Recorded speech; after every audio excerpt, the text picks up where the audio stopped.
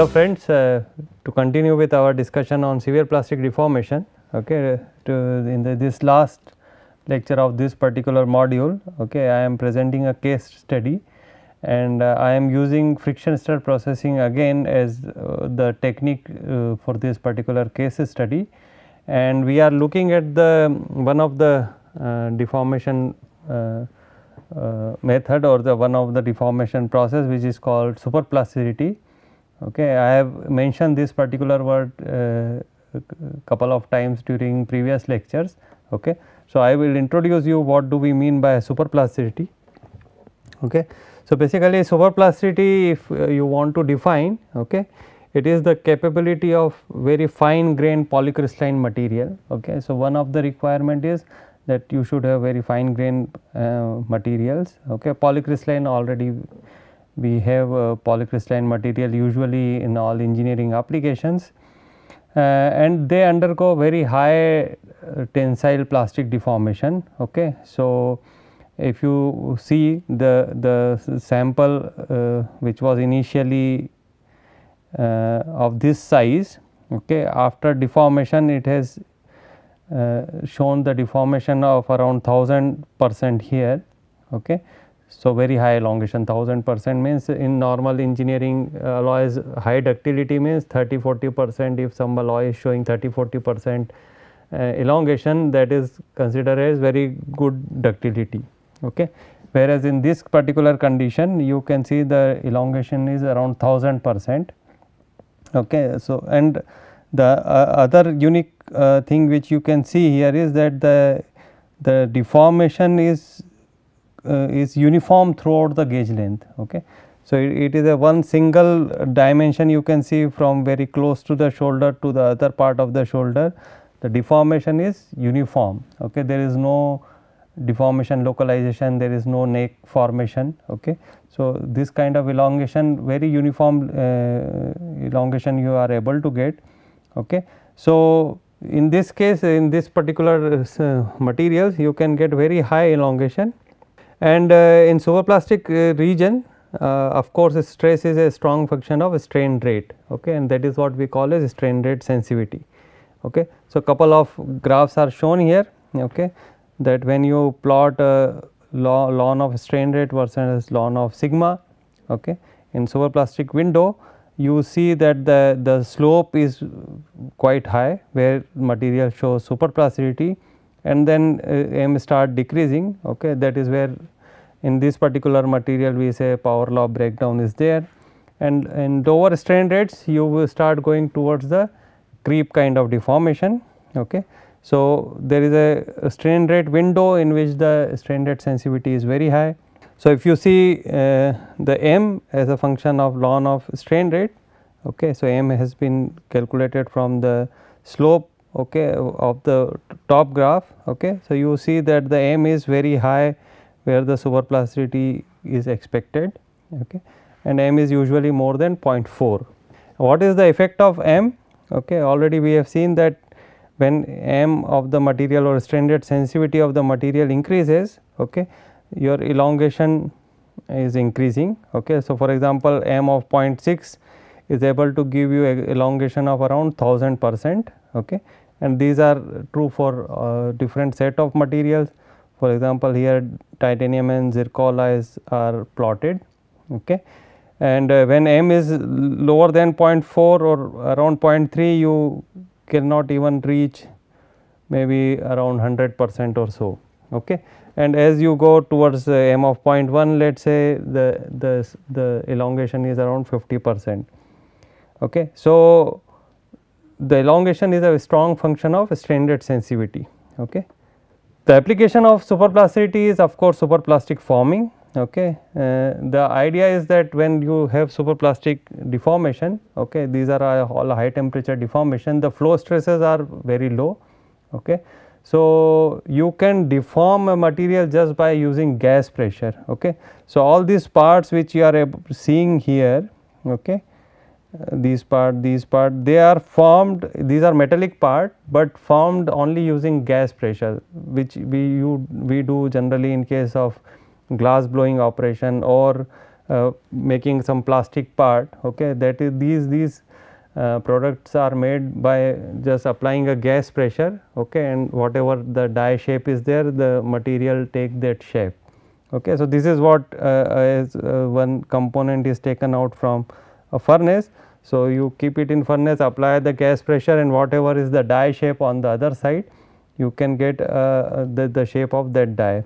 So, you can form very complex shapes. As you can see one shape here okay very complex shape okay very complex geometry. And this can be made only in one one go. Means only uh, one cycle you can produce the whole thing. If you are going to do with this with conventional uh, fabrication method all these parts will have to be made separately and then they will be joined using welding or some uh, uh riveting uh, techniques okay. So, in one shot you can get a very complex shape like this uh, in superplastic uh, uh, through superplastic forming. Okay, so, as I was telling you that for example, this is your initial sheet which is shown by orange color. Okay. Then you have applied the gas pressure and the shape of the die is shown here. Okay. So, when we are applying the gas pressure the sheet is deforming. So, this red one is the deformed sheet after forming okay, and it is able to take the shape of the die by applying a, a, a constant pressure. Okay. The other very good advantage of superplasticity and superplastic forming is that you can deform or you can form these complex geometries in materials like titanium and magnesium okay, which are hard to deform okay, because they have hexagonal close packed structure HCP structure Okay. So, they have very limited slip system. So, deformation at room temperature uh, through dislocation movement is very difficult okay, and they generally have very low ductility. Okay, but with this uh, technique because here the deformation is not through dislocation movement, the deformation is through grain boundary sliding which is what we call as GBS. Okay. So, the st crystal structure is not a factor here okay, because deformation will be on the grain boundary. So, you can easily form material uh, uh, of titanium and magnesium alloys also through this process and the advantage of doing that with titanium and magnesium is that they are they have low density okay. So, these are lightweight so very important for aerospace application okay. So, this is what already we have discussed about the strain rate sensitivity Okay. Now, what is the effect of what are the general requirements for a material to show uh, superplasticity? Okay. Uh, there are three main condition for example that the microstructure should be equiaxed okay have equiaxed grain morphology. That means in any direction if you measure the grain size it will be uh, it will have same size. Okay and the grain size uh, in conventional superplastic should, should be less than 10 micron. Okay around 10 micron. It can be 15 micron also but uh, the limiting condition is around 10 micron. Okay because when you have fine grain material then only you have more grain boundaries okay and then the deformation happens through grain boundary sliding okay as already I told you. So, all these equiaxed grains finer grain size helps in the grain boundary sliding process. Okay. The deformation condition uh, the temperature has to be above 0.4 or 0.5 TM. Okay. So, this is where uh, you have high temperature deformation conditions okay. and the strain rate is around 10 to the power minus 3 per second. Okay. So, strain rates are very low as compared to other forming processes or hot deformation processes. So, that is the only drawback of, of superplastic deformation. Okay. One is of course high temperature that you have to take material to high temperature and the other is the, uh, uh, the very slow strain rate. So, when we are doing forming also one part will be produced in a very long time. Okay. So, the productivity will be low if you have a superplastic if you are going for superplastic forming and of course, strain rate sensitivity as already told should be more than 0.4. Okay. And what is the effect of grain size? If you see the grain size how it affects the strain rate sensitivity m. Okay. So, these are strain rate values. This 10 to the power minus 4 this 10 to the power minus 3 and so on okay? And the m values are 0.1 here okay 0.2 here and so on okay? And the grain size is increasing in this direction.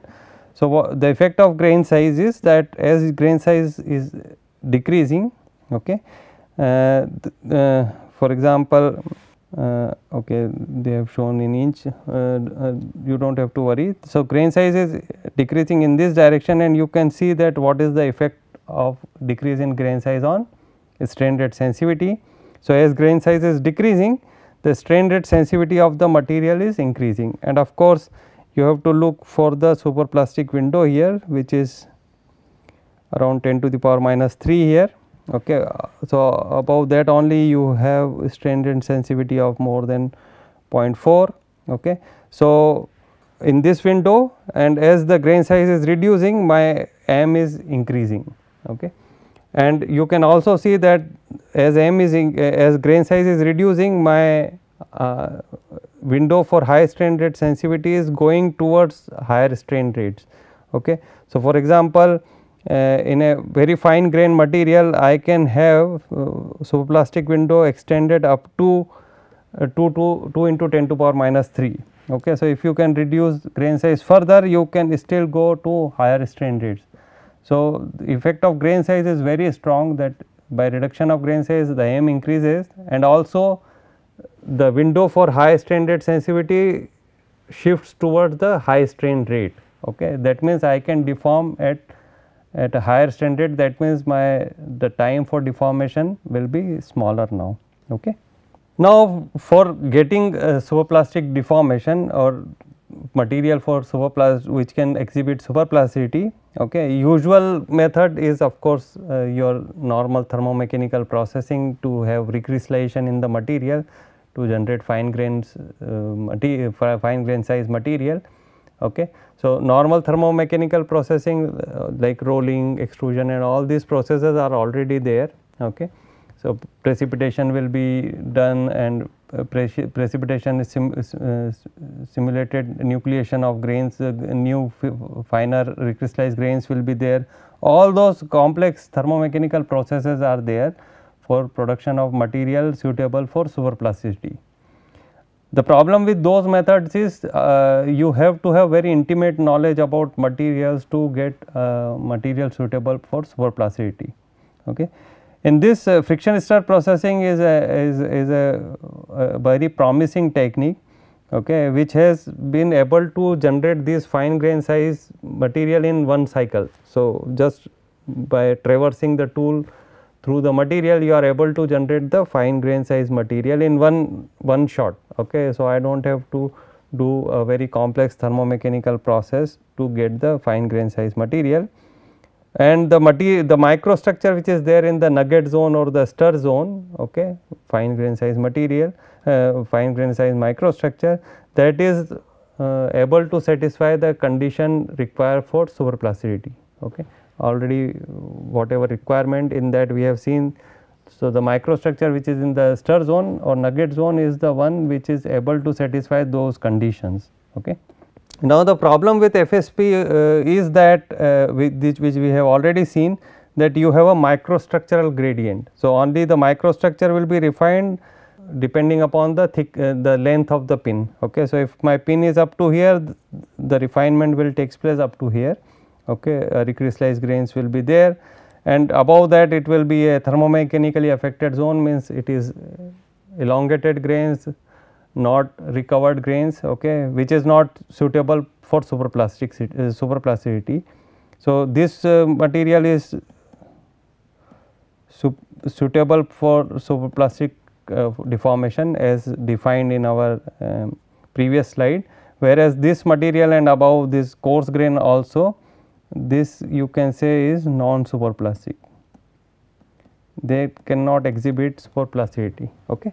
So now the the uh, idea here is that to understand this deformation behavior of these fine grain coarse grain material separately and then what is the uh, effect of this combined microstructure on the superplastic deformation. Okay. So, one should understand that, that, that, that is when only we will be able to use FSP as a technique for uh, microstructural uh, for superplasticity.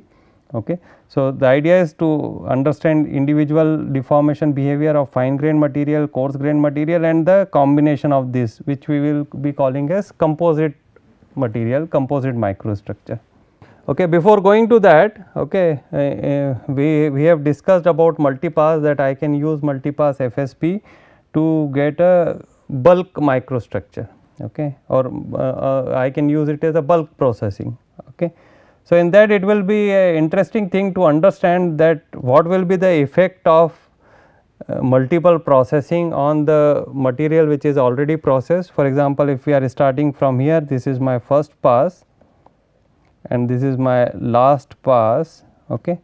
So, what will be the effect of this pass, first pass on the material which is still unprocessed that means I will call it as preheating or what is the effect of last pass on the first pass okay then that means it will be a post heated material post heating okay so what will be the effect of this individual passes on the microstructure of the material whether microstructure is changing or the properties are changing okay to do that first we measure the temperature okay, that what is the temperature rise when you are doing FSP. Okay. So, suppose the pass has started from here okay, and going in this direction. So, a thermocouple placed here measures the temperature. Okay. So, the temperature goes up to around 3 250 degree Celsius. Of course, we are measuring the temperature away from the stir zone. Okay. I cannot measure in the stir zone. So, there it is around 250 degree Celsius and then quickly coming down to room temperature in around 200 seconds. The next thermocouple measures the temperature which is placed somewhere here okay uh, temperature rise of 300 degree Celsius and then coming down also again in a very short time. What is the effect of this uh, when the processing is being done here what is the effect of that in the the already processed material that is shown with these two curves here. Okay. That says that the temperature rise in the in the other part of the material is not very high it is even low, lower than the 100 degree Celsius. Okay. So, effect of uh, the first pass on the other other part of the material is very small. Similarly, when you see the last pass okay, the the temperature rise in the thermocouple which are placed here it is around 300 and 400 degree Celsius. Okay. But the temperature rise in the thermocouple which are placed here okay, is very small only up to uh, less than even 100 degree Celsius. Okay. So, we can conclude that there is not much effect of uh, individual passes on the microstructure of the uh, it should not be too much uh, uh, effect on the microstructure because the temperature rise or the the, the temperature comes down to room temperature at a very in a very short time okay within 200 seconds or so means it is only exposure of 3 or 4 minutes and there is not much effect of temperature on the other part of the sample. To confirm it more what we did is we took sample of a large process material from different locations okay? And these are the deformed uh, material uh, samples okay? Specimen 1 2 3 4 5 6 and you can see in all the cases the deformation is very similar okay? There is not much effect of the thermal cycle on the microstructure as well as, as property of the material okay so, now taking material uh, sample from different part of the microstructure. So, this is a fine grain microstructure sample for that this is for coarse grain okay, and this is for the composite one. So, in the coarse grain one you can see that there is a large reduction in the in the cross sectional area that means uh, uh, there is a flow localization here whereas in fine grain one, one and the composite one more or less the, the, the, deformation is uniform. Of course, we have gone up to failure that is why you see necking in the last part of the deformation, but more or less the deformation is quite uniform okay. and the effect of that you can see on the elongations also. So, at different stranded deformations were done Okay. Uh, the interesting part here is that the fine grain which is shown by this square box okay, has, is showing maximum elongation of around 350 percent whereas the composite microstructure which, which contains both the fine and coarse grain which is shown by this uh, upright triangle okay, the elongation is shown around 450 percent or so. Okay. That means, the material which has both fine and coarse grains are showing higher uh, ductility, higher elongation. Okay.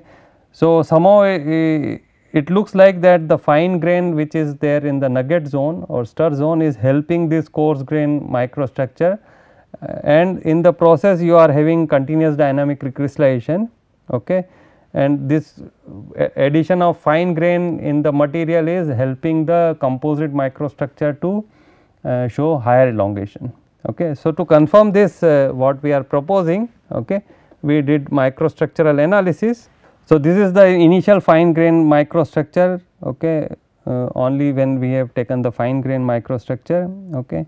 During, during the after deformation it is showing dynamic grain growth. Okay. So, the grain size is increasing as you can see this is the initial grain size, this is the final grain size. So, from 5.7 we have come to 13 micron during the deformation. If you see the coarse grain uh, part of the uh, FSP material. Okay.